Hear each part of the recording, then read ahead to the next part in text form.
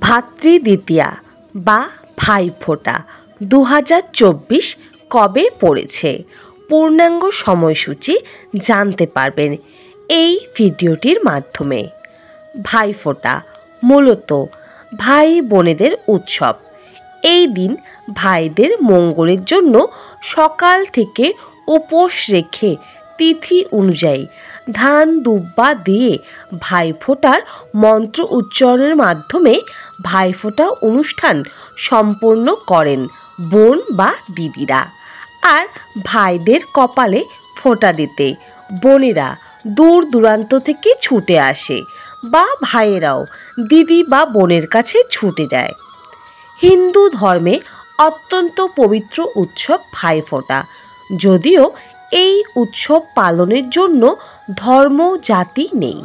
ভাই বোনেদের মঙ্গল কামনায় সবাই এই উৎসব সামিল হতে পারেন। তো নমস্কার বন্ধুরা, আমি পূজা। আমার চ্যানেলের নতুন আরেকটি ভিডিও দেখার জন্য আপনাদের সকলকে অনেক অনেক স্বাগত। আশা করি বন্ধুরা, আপনারা সকলেই ভালো আছেন, সুস্থ আছেন। আজকের এই ভিডিওটির মাধ্যমে আমরা আলোচনা করব ভাইফোঁটার পূর্ণাঙ্গ সময়সূচি, ভাইফোঁটা দেওয়ার মন্ত্র।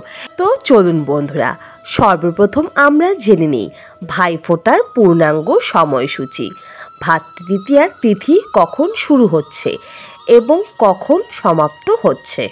ভাইফোঁটা দু হাজার চব্বিশ পড়েছে। বাংলা, সতেরোই কার্তিক চোদ্দোশো একত্রিশ। ইংরাজি তেসরা নভেম্বর দু হাজার চব্বিশ রবিবার। দ্বিতীয়া তিথি শুরু হচ্ছে। শনিবার সন্ধে ছটা বেজে চুয়ান্ন মিনিটের মধ্যে এবং তিথি শেষ হচ্ছে রবিবার রাত্রি আটটা বেজে ষোলো মিনিটের মধ্যে। তো বন্ধুরা, রবিবার কিন্তু প্রায় সারাদিনই দ্বিতীয়া তিথি থাকছে তাই আপনারা সারাদিনের যে কোনো সময়ই ভাইফোঁটা দিতে পারবেন। কিন্তু এই তিথির মধ্যেও কিছু শুভ সময় এবং শুভ মুহূর্ত রয়েছে, যেই সময় ভাইফোঁটা দেওয়া খুবই শুভ। তো বন্ধুরা, চলুন এখন সেই শুভ মুহূর্তটি জেনে নেওয়া যাক। ভাই ফোটার শুভ মুহূর্ত। প্রথম শুভ মুহূর্তটি হলো সকাল ছটা পঁয়তাল্লিশ মিনিট থেকে আটটা চুয়ান্ন মিনিটের মধ্যে। দ্বিতীয় শুভ মুহূর্তটি হল সকাল এগারোটা চুয়াল্লিশ মিনিট থেকে দুপুর দুটা সাঁত্রিশ মিনিটের মধ্যে। তো চলুন বন্ধুরা, এখন জেনে নেওয়া যাক ভাই ফোটার মাহাত্ম কী রয়েছে। কেন এই ভাইফোঁটা দেওয়া হয়? এই ভাইফোঁটা দেওয়ার পেছনে কোন পৌরাণিক কাহিনী রয়েছে? এছাড়াও জানতে পারবেন ভাইফোঁটা দেওয়ার নিয়ম ও বিধি কী রয়েছে। ভাইকে কোন দিকে বসিয়ে ভাইফোঁটা দেবেন এবং ভাইফোঁটার এই অনুষ্ঠানে আপনারা ভাই বোনদের কী উপহার দেবেন? তো চলুন বন্ধুরা, বেশি দেরি না করে এখন জেনে নেওয়া যাক। মূলত কার্তিক মাসের শুক্লপক্ষের দ্বিতীয়া তিথিতে বাঙালির ঘরে ঘরে অনুষ্ঠিত হয় ভাতৃতৃতীয়া বা ভাইফোঁটা। তবে অনেক বাড়িতেই রয়েছে কিছু নিয়মভেদ। তাই এটি শুক্লপক্ষের প্রতিপদের দিনও বহু জায়গায় উদযাপিত হয় ভাইফোঁটা। ভাইফোঁটার দিন বোনেরা তাদের ভাই দাদার কপালে চন্দন কাজল দইয়ের ফোঁটা পরিয়ে মন্ত্র উচ্চারণ করে তাদের মঙ্গল কামনা করেন। এটি ভাই বোনের অটুট বন্ধনের কামনায় পালিত একটি পবিত্র উৎসব। ভাইয়ের দীর্ঘায়ু কামনার উদ্দেশ্যে বোনেরা এই নীতি অত্যন্ত নিষ্ঠার সঙ্গে পালন করেন। ভাতৃদ্বিতীয়া উৎসবকে আবার জম দ্বিতীয়াও বলে। কথিত আছে মৃত্যুর দেবতা জম তার বোন যমুনার হাতে ফোঁটা নিয়েছিলেন। অন্যদিকে প্রচলিত আছে আরও একটি লোককথা শোনা যায়, নরকাসুর নামে এক দৈত্যকে বধ করার পর কৃষ্ণ তার বোন সুভদ্রার কাছে যখন এসেছিলেন, তখন সুভদ্রা তার কপালে ফোঁটা দিয়ে তাকে মিষ্টি খেতে দেন। এরপর থেকেই ভাইফোঁটা প্রচলিত হয়। জ্যোতিষ শাস্ত্র অনুসারে ফোঁটা দেওয়ার শুভ সময় মেনে চলা ছাড়াও বোনেদের, তাদের ভাই, দাদার মঙ্গল কামনায় আরও কিছু বিশেষ জিনিসের যত্ন নেওয়া উচিত।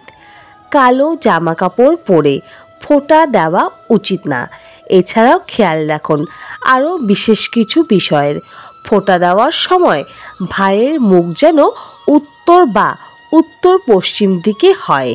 এখানে খেয়াল রাখতে হবে, বোনের মুখ উত্তর পূর্ব বা পূর্ব দিকে হওয়া উচিত। ফোঁটা দেওয়ার সময় অবশ্যই উপোস থেকে ফোঁটা দিতে হবে। এই দিন শুভ সময়ের মধ্যেই ফোঁটা দেবেন। রাহুর সময় ভাইফোঁটা এড়ানো উচিত। এই শুভ দিনে একে অপরের সঙ্গে মারামারি করবেন না এবং ঝগড়াও করবেন না। ভাইয়ের দেওয়া কোনো উপহারকে অসম্মান করবেন না।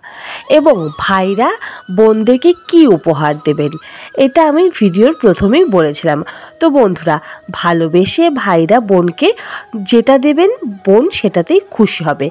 কিন্তু মাথায় রাখবেন, কালো কোনো রকম জিনিস উপহারে দেবেন না। মানে ধরুন কালো রঙের কোনো বস্ত্র, কালো কোনো কিছুই উপহারে দেবেন না। কালো রং হলো অশুভের প্রতীক।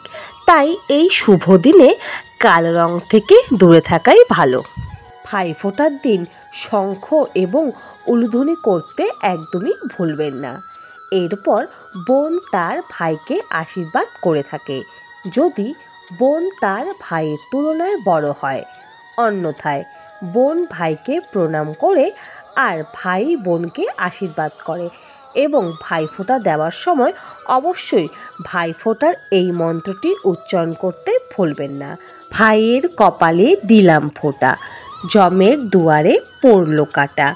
যমুনা দেয় জমকে ফোঁটা, আমি দিই আমার ভাইকে ফোঁটা। ভাই ফোঁটার দিন এই মন্ত্রটি উচ্চারণপূর্বক ভাইয়ের কপালে চন্দনের ফোঁটা দেবেন এবং ধান দুব্বা দিয়ে আশীর্বাদ করিয়ে মিষ্টিমুখ করাবেন। আমাদের পশ্চিমবঙ্গের বাইরেও।